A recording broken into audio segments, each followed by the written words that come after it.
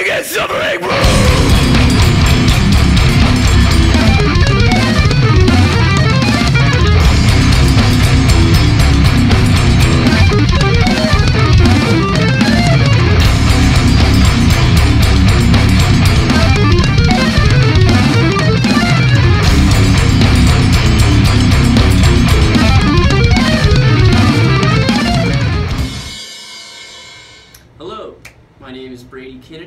am the drummer for Basilica.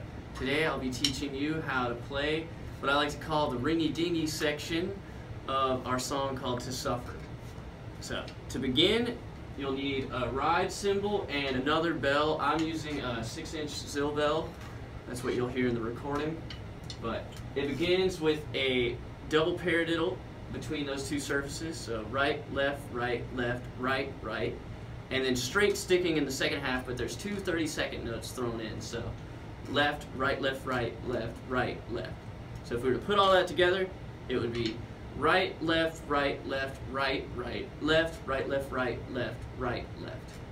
Okay, I'll play that on the hi-hat for you just so you can get a feel for how, for how it sounds without the resonance of the bells. So one, two, three, one, three, and.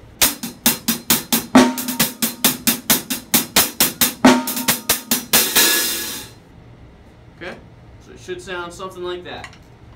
And in my feet, all I'm doing is straight 16th notes on top of that. So I'll put all that together for you so you can hear how it sounds.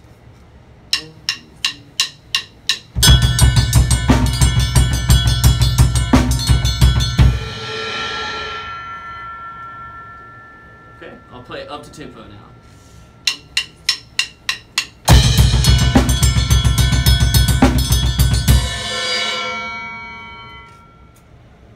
For this next section, you're going to play straight 30 second notes split between the hands and the feet.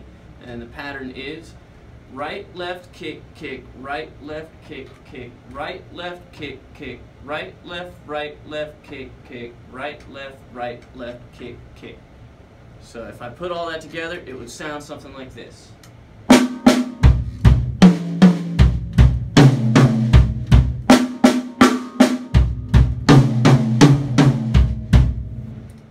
The second half of this phrase, you're going to play straight 30 second notes between your hands and pulse eighth notes on your feet. And the pattern goes snare, tom 1, tom 2, snare, tom 2, tom 3. I'll play that for you.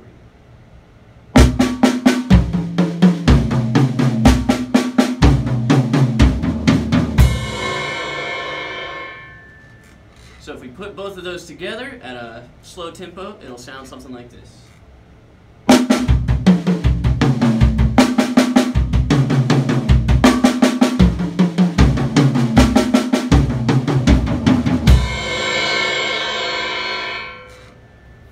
Up to tempo.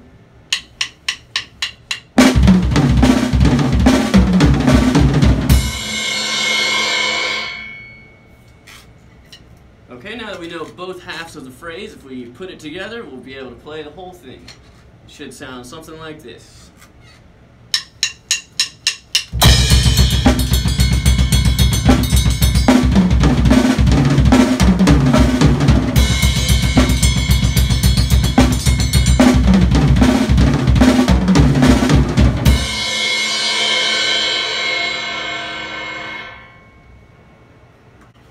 So there you have it. Now you can play the song. Living and suffering room